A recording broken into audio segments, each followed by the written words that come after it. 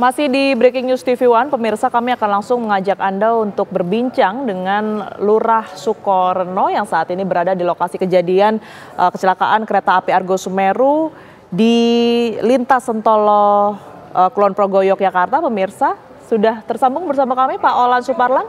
Selamat sore Pak Olan. Oh, selamat siang menjelang sore Mbak Tiara.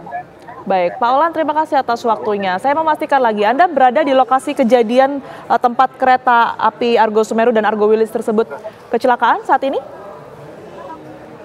Iya, saat ini saya masih berada di lokasi kejadian kecelakaan kereta api hmm. uh, Argo Semeru dengan Argo Wilis dan perlu yang... kami laporkan bahwa tadi hmm, silakan.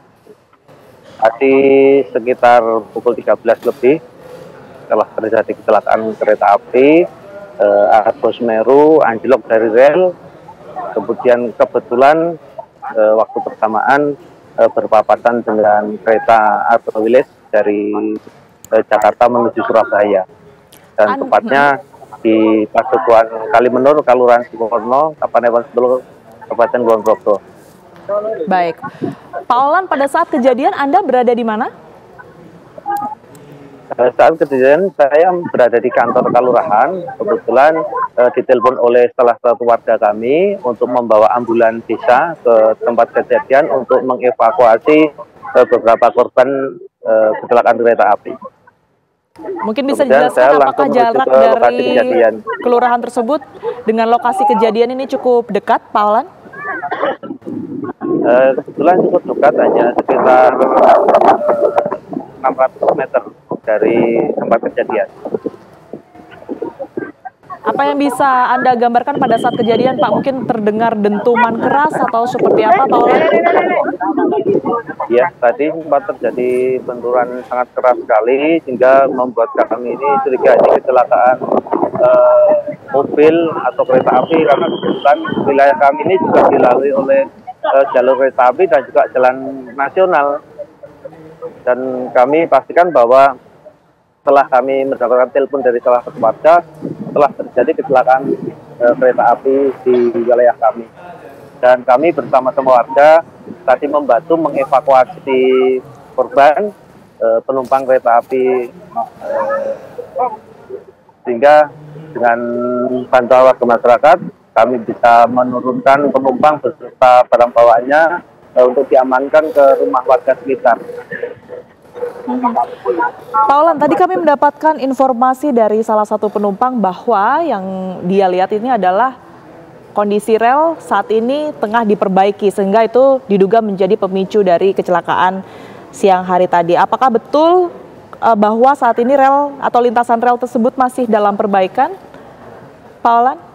Eh, menurut informasi dari warga sekitar, memang beberapa hari ini uh, dilaksanakan perbaikan atau uh, di rel kereta api itu uh, ada perbaikan kemudian di servis berapa sehingga uh, mungkin ini juga ada pengaruhnya. Hmm. Uh, sudah berapa lama perbaikan tersebut dilakukan, Pak Olan? Atau memang uh, seperti yang tadi Anda jelaskan ini sebenarnya masih layak begitu untuk kemudian ini dilewati kereta api biasanya? Menurut informasi dari warga sekitar e, melihat perbaikannya sudah beberapa hari, sekitar tiga atau empat hari. Baik, kalau di titik lokasi kejadian saat ini, Pak Olan, apakah memang juga sering terjadi kecelakaan serupa mungkin? Atau pernah sebelumnya? Uh, dulu, jawaban dulu pernah ada kecelakaan informasi dari uh, orang sekitar, tapi zaman dulu waktu masih uh, kereta uap dan baru ini terjadi kecelakaan di tempat yang sama. Di titik yang sama ya? Iya betul. Dan alhamdulillah korban eh, sudah dievakuasi oleh PT KAI eh, karena tidak ada korban jiwa, eh, luka-luka, memar karena benturan dan sekarang sudah mulai dievakuasi dibawa dengan kereta bandara dari lokasi kejadian dibawa ke stasiun Wates Kulon Progo untuk dievakuasi lebih lanjut. Baik. Pak Olan tadi ada menyebutkan bahwa ada rumah-rumah warga yang kemudian ini difungsikan sebagai lokasi evakuasi sementara begitu ya. Ini seperti apa Pak Olan? Ya betul. Ya untuk mengevakuasi karena dari penumpang banyak yang stop tadi karena benturan kebetulan juga ada balita, ada juga lansia. Oke, tadi kami koordinasi dengan Rumah Sakit Wen Latifa, juga Rumah Sakitnya Ageng Serang, PMI juga. Kemudian dari uh, itu mereka mengirimkan ambulan dan tenaga medis. Alhamdulillah uh, semua bisa tertangani dengan baik. Perkiraan ada berapa banyak warga Pak yang kemudian ini dilakukan dan juga dibantu evakuasi dari ambulans yang dikeluarkan dari Lurah Sukorno ini, Kelurahan Sukorno? Ini tadi kami kerjasama dengan ambulans kelurahan, juga ambulans dari beberapa rumah sakit yang ada di wilayah Sentolo, juga dari PMI, banyak dari Grimob juga ada, dari Angkatan Darat juga ada ambulans. Bahkan dari relawan juga banyak ambulan ini. Baik. Pak Lurah? Ya, iya. Baik.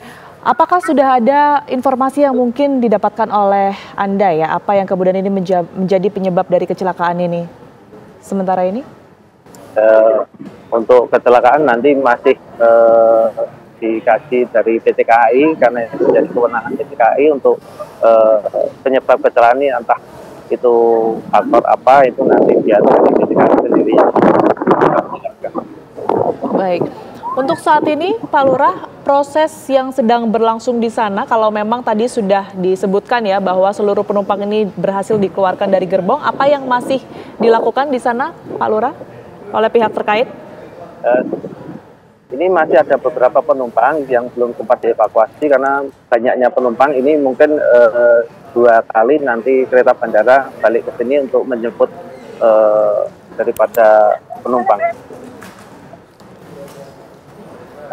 Sementara kami masih menunggui uh, beberapa koper-koper, okay, barang bawaan dari penumpang bersama dengan warga. Baik, Pak Lura. Kemudian adakah warga yang kemudian ini saat ini dilarikan ke rumah sakit terdekat? Kalau memang ada, ada berapa banyak jumlahnya? Uh, tadi sempat ada yang dibawa ke rumah sakit, tapi untuk jumlahnya kami belum tahu pasti, tapi tidak banyak. Hanya karena cedera mungkin agak perlu penanganan khusus.